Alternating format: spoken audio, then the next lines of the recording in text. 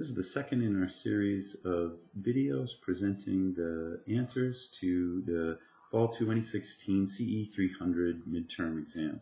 This is a question about ethics. It tests the student's knowledge of the fundamental canons of engineering and their ethical judgment.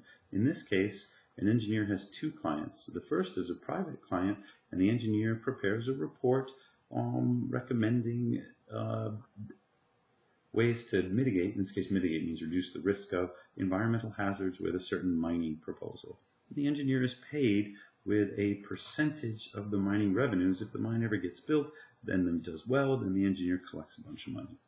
Years later, the client submits a proposal or an application to the federal government to actually build the mine. But the engineer is hired by the federal government to review it. Someone at the federal government evidently doesn't know about the arrangement, the stake that the engineer has in the mind. And the engineer discovers that the application as it's been submitted does not incorporate the recommendations to mitigate environmental hazards. So that's our setup.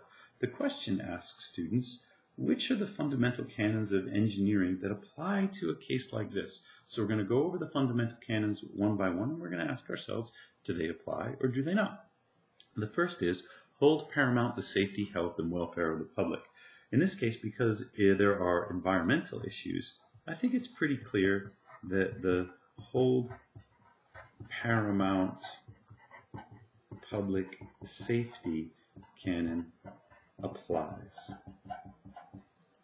Next, we'll evaluate perform services only in areas of their competence. In this case, the engineer seems well qualified to do work related to mines and their environmental hazards, so I don't see any issue related to areas of competence that relates to the case as it's been described. Issue public statements only in an objective and truthful manner. There are no statements to the public. The first report that the mining engineer did was for a private client, and that's not a public report. The second one is to the federal government, and it's possible that the review could be discovered under the Freedom of Information Act, but there's nothing that the engineer is putting in a mining permit or mining application review that is meant to be released to the public. It would only be released to the public later. It's written for other technical experts and bureaucrats within the federal government who are evaluating the merits of the application. So I don't see how the public statements um, fundamental canon applies act for each employer or client as a faithful agent. And that includes, especially in the American Society of Civil Engineer, avoiding conflicts of interest. So in this case, faithful agent. How can the engineer both act as a faithful agent to the private client and to the new client, the federal government? In this case, the obligation to act as a faithful agent may be to two different clients with opposing interests uh, comes to bear. Also, avoid conflicts of interest. Because the engineer has a financial stake in the success of the mine and now has been hired by the federal government to review or approve the application, there is at least the appearance of the conflict of interest that should be avoided. So the faithful agent canon definitely applies. Build their professional reputation on the merit of services and not compete unfairly with others. There are no competitive issues in this case that I can see as it's been presented to us, and so I don't think that canon applies. Conduct themselves honorably, responsibly, ethically, and lawfully.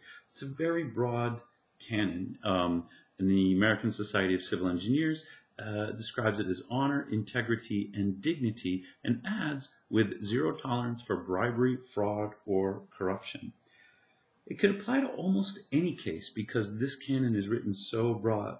But in particular, the conflict of interest and the financial rewards that may accrue to the engineer if the mine is approved might be construed not as a bribe necessarily, but as corruption. And so this fundamental canon might apply to our case. Continue professional development throughout their careers and provide opportunities for the professional development of others. I don't see professional development opportunities in this case as it's been described. Uh, and finally, avoid deceptive acts. There is nothing here that the engineer has done, at least not yet, which is deceptive, and no call to be deceptive. I don't see how deceptive acts applies to this case. So we've identified three fundamental canons that apply to the case that's been described. Each one of these is worth 20%. Then recommend a course of action to the engineer. In this case, because the engineer has an obligation to avoid conflicts of interest and act to uphold the honor, integrity, and dignity of the profession, my recommendation is to recuse from the review. And by recuse, what I mean is uh, inform the federal government, disclose to the federal government the conflict of interest, and decline to perform the review. This allows the government to hire another qualified mining engineer to perform an objective review without the appearance of conflict of interest. Well, how does that act as a faithful agent to the client? Perhaps the engineer would feel uh, as a faithful agent to the client they should perform the, a favorable review for the federal government and hope that the mine gets approved. But that's not being a faithful agent. Think of them in, in this case as a member of the application. They're now an owner, not just a client, and certainly acting in such a way that might impeach the integrity of the review is not a good thing to do, not being a faithful agent to their original client. So our recommendation is to disclose the conflict and recuse from the review to allow the federal government to hire another competent engineer to perform it. This together, the recommendation is worth 40% for a total of 100% of the credit available on this page.